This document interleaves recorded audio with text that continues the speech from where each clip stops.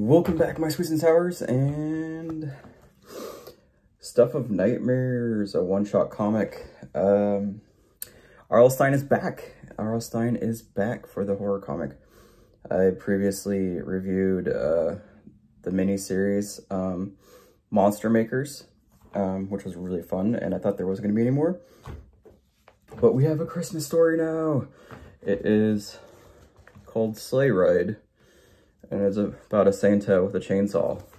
Um, so this guy literally takes being Santa too literally, and that's the only joy he gets out of it, and he gets fired from his Santa job. And then he decides to kill the manager over it, and then he starts going on a killing spree, uh, stealing like people's presents, and then killing people in the process. Um, and then uh, this mall cop's on the hunt with these other cops to catch him. But like he goes so far as he burns down their house. Pretty crazy. Um, for some reason, he has rats. He carries around rats in his bag. Like the opening thing, like that, that was pretty gnarly. I was like, and he just dumps them on people and they're hungry rats. So yeah, like they're tied up and then he dump, or right here, and then he dumps one. I'm like, that was pretty gnarly scene.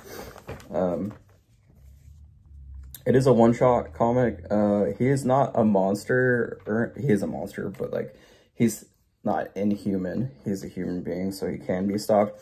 I won't uh, ruin the ending. It's kind of actually very hilarious what happens at the very end. Like, there's this guy, he's carrying a Christmas tree right? And he's like, oh, where'd you get it? He's like, I stole it off the lot, ha ha ha. And he's like, oh, free, cool. And the dude just rams the Christmas tree into his chest. Like, bro, that's crazy. Yeah. Um, so there's a lot of blood in it and stuff. Not as much gore as, like, Monster Makers. Monster Makers was pretty hardcore, uh, for Sign. Um, I give this a, I want to say 9 out of 10 because expecting more, like having maybe like a couple Christmas store stories, like have not just the one shot. Um, and there's a favorite memory keeper, nightmare keeper, that guy and his butler and his lamb is uh, barbecuing people's heads, his Christmas heads in there. Um, but yeah, it just came out today.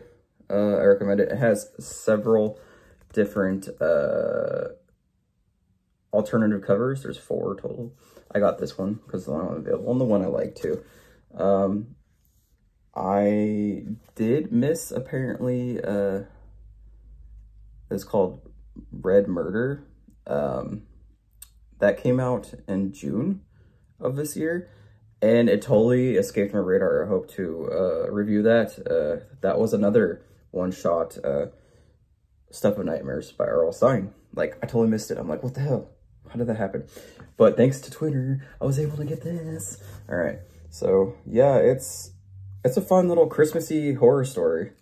I'm coming from Stine and uh, more towards his adult uh,